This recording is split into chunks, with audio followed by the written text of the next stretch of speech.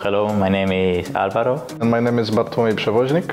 My name is Alex. My nickname is Myrwn. I'm Supa uh, David. Brad, but you're. Again, it's Supa hot fire. Supa roars with a pentakill. My first pro team, it was not organization, was called Złodzieje Monitorów, Monitor Stealers. G2 Arctic. It's Kawaii Kiwis, and it was in second, third division of Spain. It was in Spain, third division, OKGG. I think I never got to main exactly because I was playing a lot of things. Probably I will say Lee Sin. I would say Lee Sin, I really like that as well, and Yasuo. Kai'Sa Ezreal. I would say Gwen. Yo, yo you're now going in. It is the slaughter. Kaiser, the last one standing, but it does not matter. I would say my favorite food is pizza. Croquetas. I would say fried chicken. A good meat is what I like the most.